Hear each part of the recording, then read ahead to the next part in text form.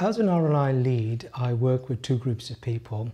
One, on the one hand, I've got the clinicians or the clinical academics who are doing the research on the ground, as it were. And on the other hand, I've got the research and innovation team. And my role is to bring both aspects or both teams together in order to enable research to, to happen in our trust and indeed to flourish in our trust.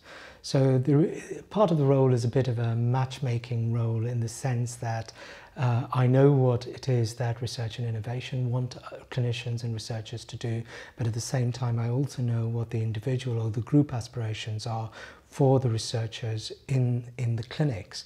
And uh, bringing together those aspirations is what I see myself do as, as a research and innovation lead.